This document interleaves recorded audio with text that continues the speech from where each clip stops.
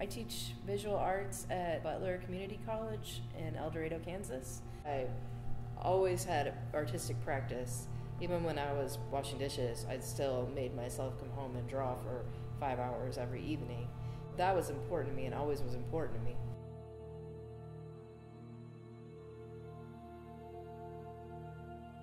My dad paid for me to have some classes in, in the New York Artist Academy, I think it is, um, figure painting class when I was about 16. And then when I got there, it was a nude model.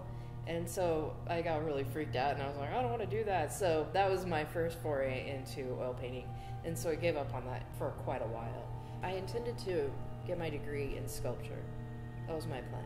And then uh, kind of had a falling out with the sculpture instructor. The next time I picked it up was in Barbara Waterman Peters' oil painting class, and then I just never looked back after that.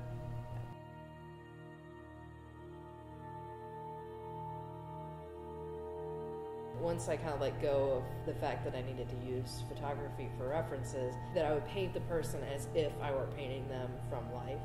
And so that's kind of why they have like this distant look on their face it lends itself well to um, sort of this distance between people and a family. They can be existing in the same space, especially nowadays when everybody's got their smartphone and that sort of thing.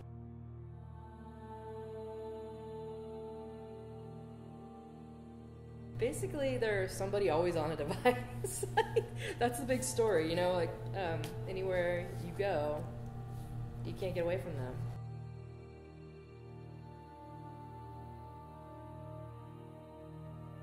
Uh, I think just first glance is is sentimental family stuff.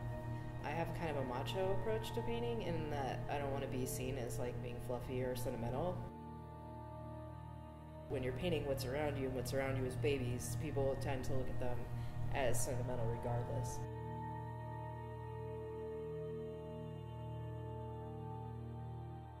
Them being young women, um, they have powerful personalities, and I like the idea of uh, women sort of sticking up for themselves pictorially. But there is like a distance there, so you're, you know, they're looking at you, you're looking at them, but they're guarded.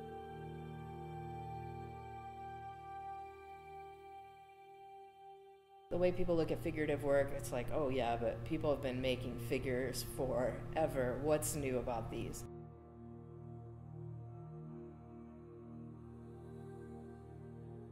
everybody is different. Every person that's born is different. Their experiences are different.